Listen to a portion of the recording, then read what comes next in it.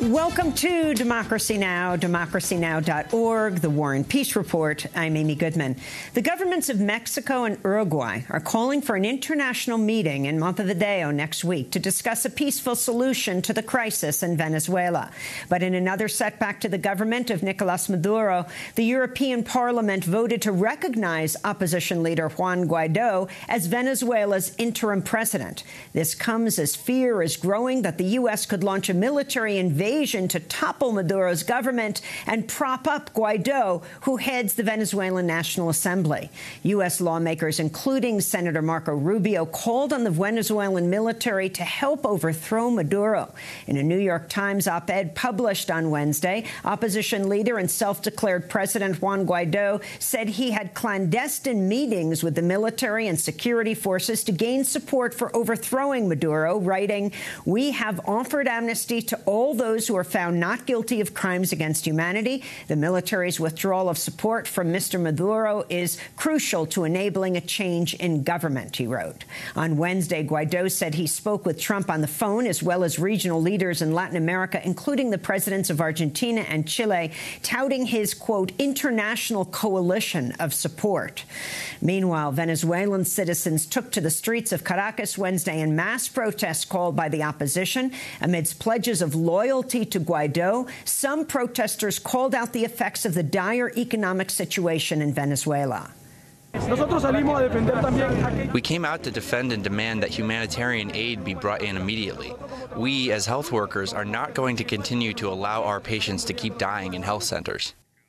The U.S. has imposed massive sanctions against Venezuela, crippling their economy.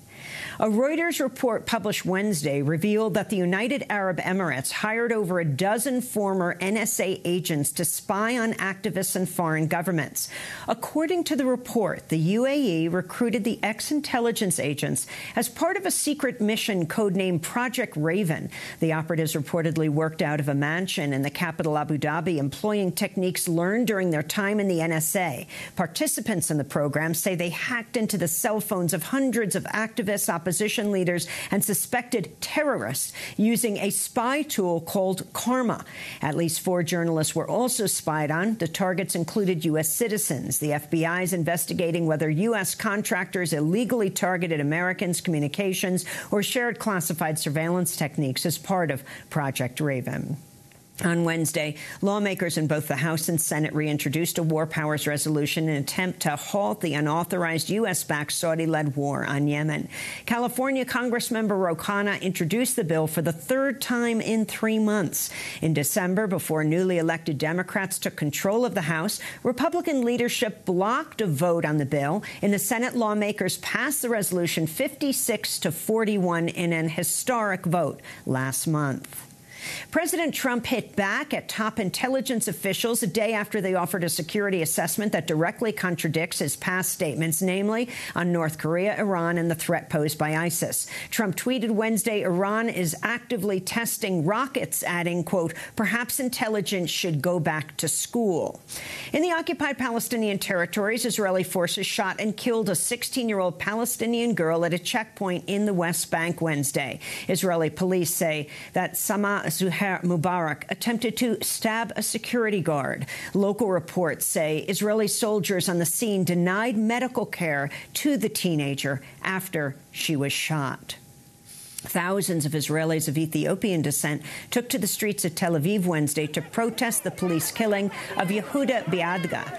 The 24-year-old Israeli-Ethiopian man who had a mental illness was holding a knife when he was shot and killed. His family had called the police for help and informed them of his mental illness. Protesters blocked traffic on a major highway as they called out police brutality and racism.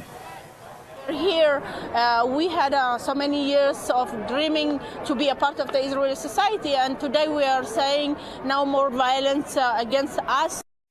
At least 43 people were killed when two boats carrying migrants sank off the coast of Djibouti Tuesday. Search and rescue missions are continuing with scores still missing. Passengers were believed to be heading to Yemen. Meanwhile, a migrant ship run by a German humanitarian group docked in Italy today.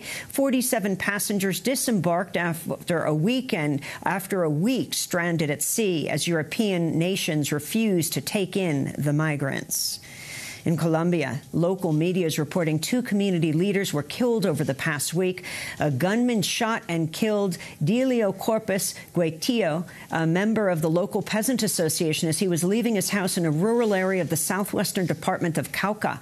In Valle del Cauca, two men shot community leader and housing activist Jose Javier Orozco in the doorway of his home last Thursday. Human rights groups have been sounding the alarm over the mounting violence against activists in Colombia. At least 16 activists were murdered so far this year, according to a local research and advocacy group.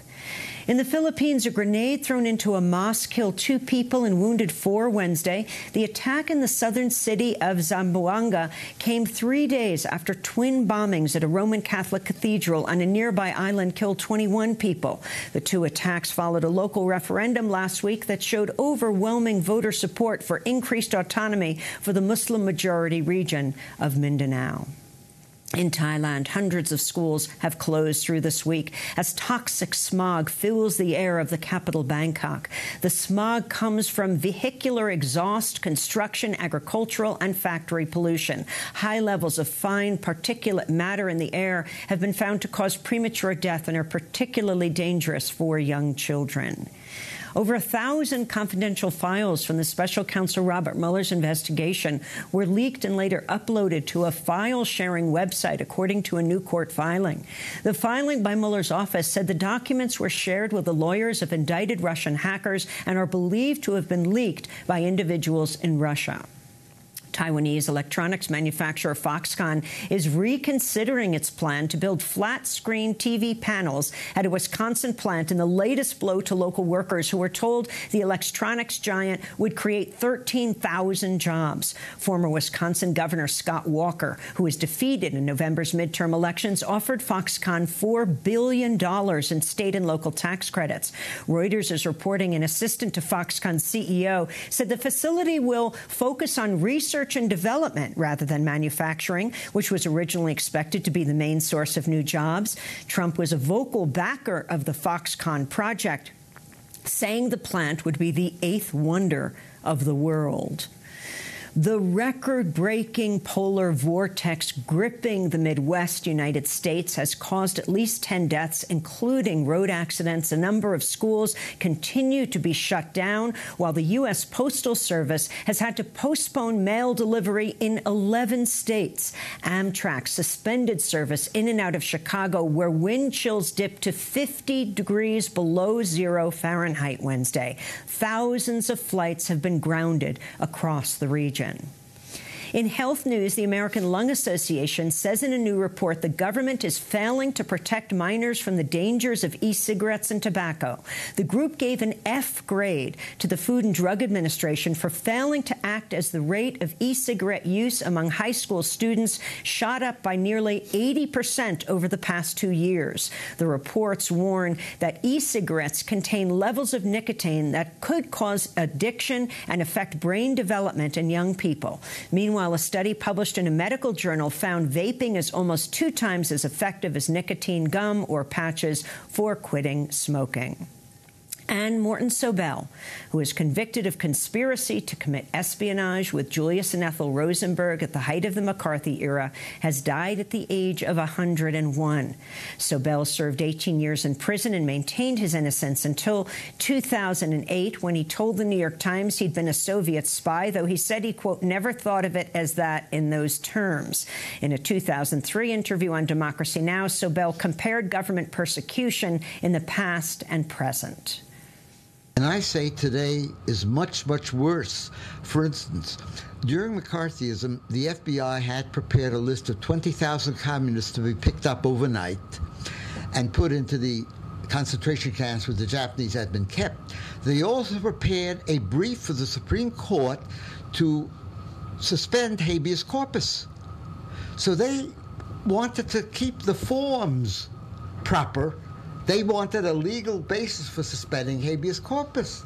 The gang today doesn't even go to court to suspend. They suspend habeas corpus without any leave of the courts.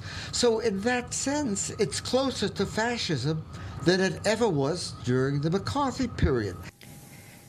And those are some of the headlines. This is Democracy Now!, democracynow.org, The War and Peace Report. I'm Amy Goodman.